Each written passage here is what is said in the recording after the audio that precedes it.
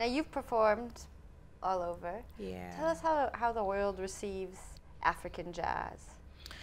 They love it. Mm. Surprisingly, it's actually not even a surprise because you know what? Africa is really talented.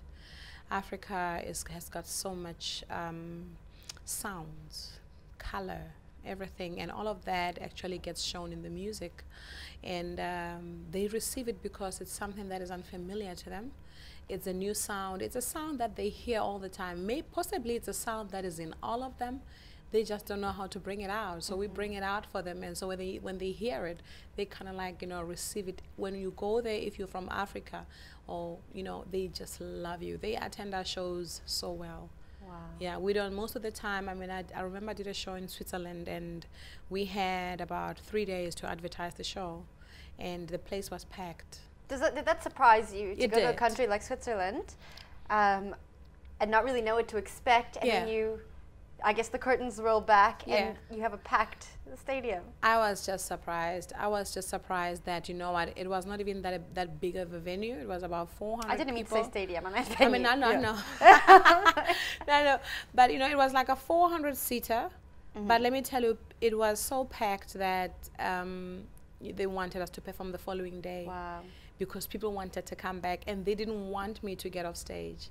And I was performing with a band from Switzerland, funny enough, who are a band or a great, I mean, group of musicians who speak German and they can't really speak English that well. But they played the music so well because they wow. checked it, and this is the sound that they wanted to hear and play all the time. So yeah, they really receive. They would get very well received out there. That's incredible. Amazing. Now, who are you listening to? Oh, honestly, right now I'm, I'm listening to myself. I'm listening to mm. one word in the car. I'm very selfish right now. That's okay. You're allowed to be. Yeah. No, I'm listening to Judith Sephuma. Okay. Uh, okay. New album. I can get on uh, that. Yeah, yeah, yeah. I heard um, it's called One Word. It, it is called One Word. It's really beautiful. She's got amazing songs yeah, on there. she's great. She's singing in all these languages. Let me tell you, she brought Africa into one onto that little disc.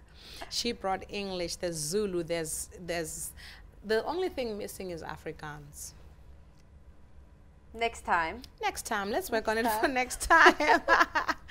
yeah, you know, and I've got a rock song there. I mean, I mean that album has, has encompassed, uh, you know, everything. And I took a risk, you know, by you know getting all those styles in there. But yet, you know, what I love about that album is when I listened to it from the beginning to the end, I did not lose the essence of who Judith Sephuma is. So people mm -hmm. can still love it. They'll still relate to who I am. They'll still hear a bit of you know, the old sound that they know and then the new sound and the fresh sound, obviously. Mm -hmm.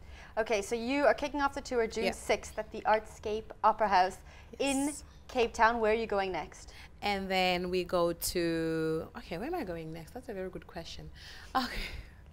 And then we've got some shows in Johannesburg, and then we go to Polokwane on the 20th mm-hmm. of June, and then Bloemfontein is on the 7th, 27th of June. And then we come back to Cape Town, I believe. It's on the 28th oh, of yay. June.